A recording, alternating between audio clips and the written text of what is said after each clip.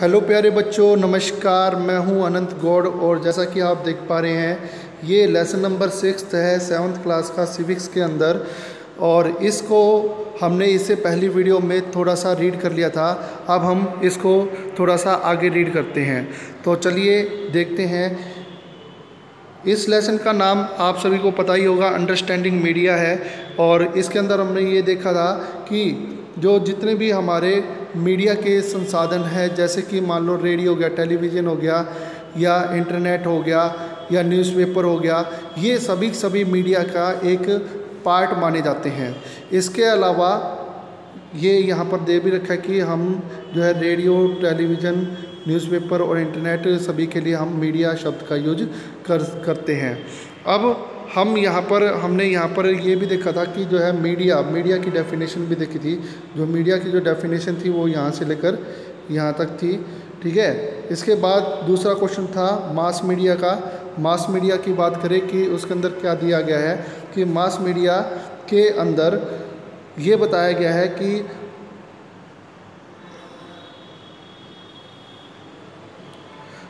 ये देखिए mass media बता रखा है, जो टेलीविज़न रेडियो और न्यूज़पेपर की सहायता से आज हम अपनी इन्फॉर्मेशन लाखों लोगों तक पहुँचा सकते हैं और ये वर्ल्ड लेवल पर कंट्री लेवल पर हम किसी भी इन्फॉर्मेशन को आसानी से पा सकते हैं। तो उसको मास मीडिया के नाम से जाना जाता है। फिर हम यहाँ पर बात करें, इससे ऊपर जो दे रखा है, ऊपर यहाँ पर जो मास मीडिया की की डेफिनेशन दी गई थी।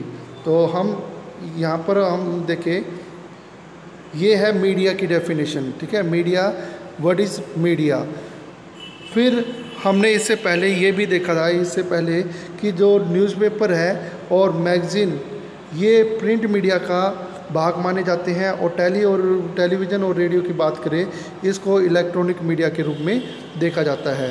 अब इससे ऊपर हम यहाँ पर देखें मनी और मीडिया के बारे में हमने पढ़ा था, ठीक है? मीडिया और मनी का भी आपस में काफ़ी कनेक्शन माना जाता है और मेन जो सोर्सेज है मीडिया के पास पैसा कमाने के लिए, वो है बिग बिज़नेस हाउस यानी कि बड़े व्यापारिक घरानों से उनका लिंक माना जाता है, इससे ही उनको पैसा मिलता है।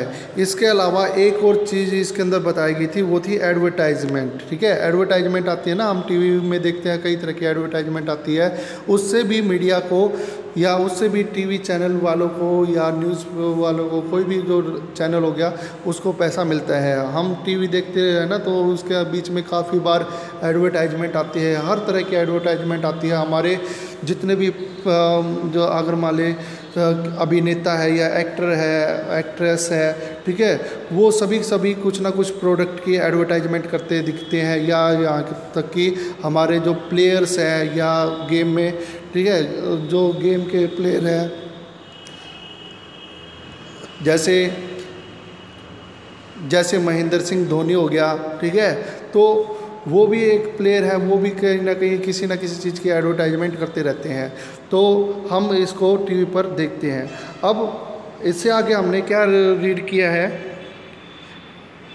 इसके आगे हम रीड करेंगे मीडिया एंड डेमोक्रेसी अब हम यहाँ पर आते हैं।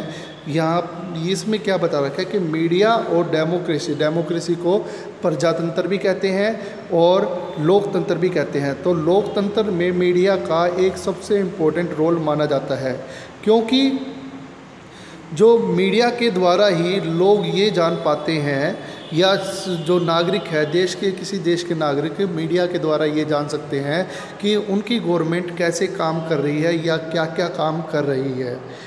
ठीक है? तो इसके अंदर ये इसमें बता रखा है। इसके अलावा इसमें ये भी बता रख, बताया गया है कि मीडिया में दिखाई गई चीज़ों के आधार पर हम, अगर गवर्नमेंट कोई ऐसा कार्य करती है जो हमारे खिलाफ है तो हम उसके विरुद्ध हम बोल भी सकते हैं या उसका विरोध भी कर सकते हैं। तो जैसे कि हम अपने मिनिस्टर्स को लेटर भी लिख सकते हैं कि भी आपने ये कार्य क्यों किया जो कि हमारे विरुद्ध था, या हम पब्लिक प्रोटेस्ट भी देखते हैं और इसके अलावा सिग्नेचर कैंपेन जिसके अंदर सिग्नेचर कर करके जो गवर्नमेंट को बताया जाता है कि हम आपकी बा इस बात से एग्री नहीं है।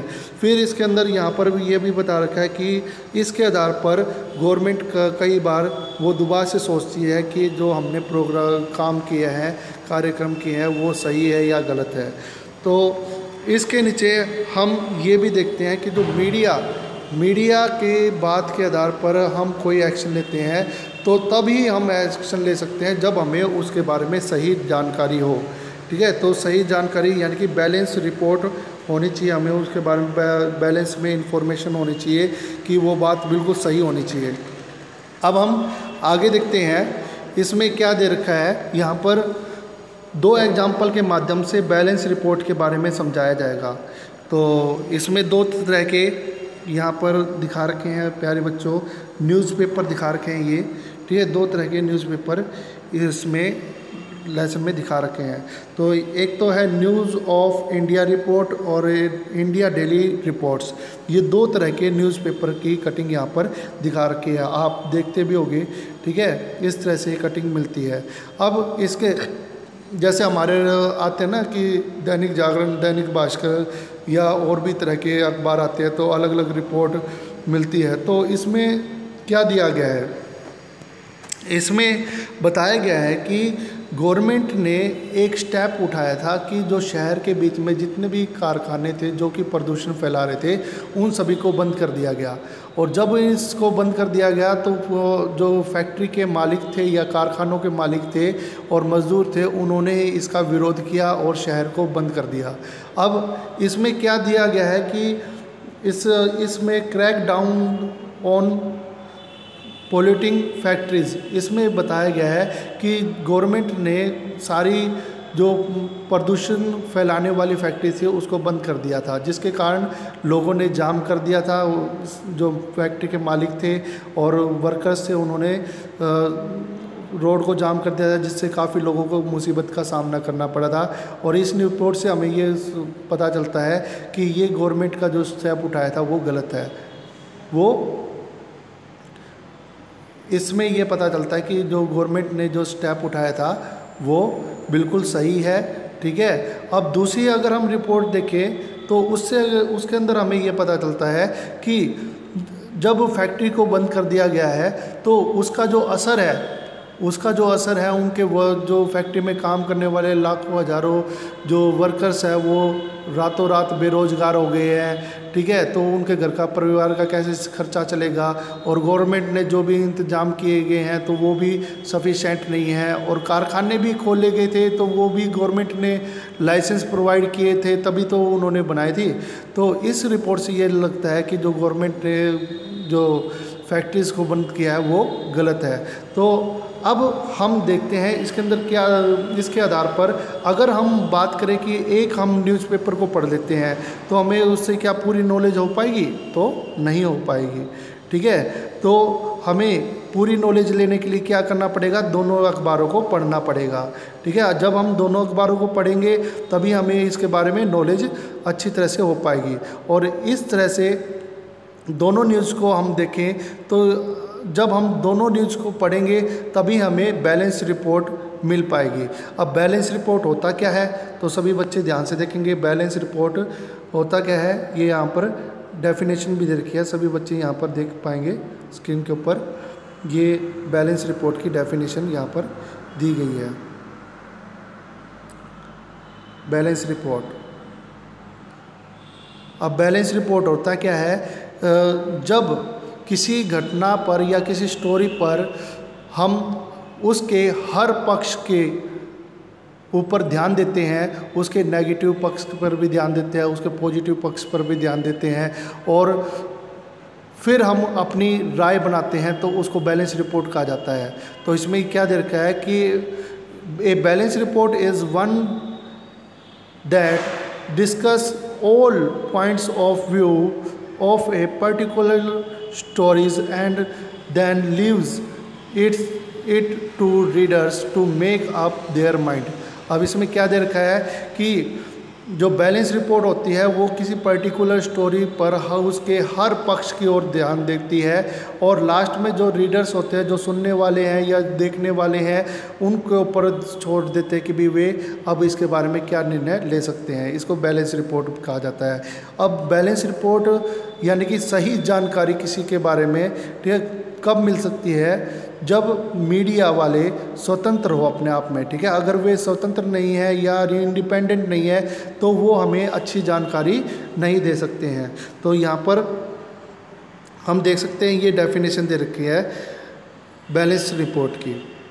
सॉरी इंडिपेंडेंट इंडिया की इंडिपेंडेंट मीडिया के बारे में यहाँ पर बता रखा है। अब यहाँ पर भी हम इसको मार्क कर लेते हैं, ये डेफिनेशन है, आप सभी इसको अपनी नोटबुक के अंदर भी लिख सकते हैं या मेंशन कर सकते हैं। तो ये जो डेफिनेशन है,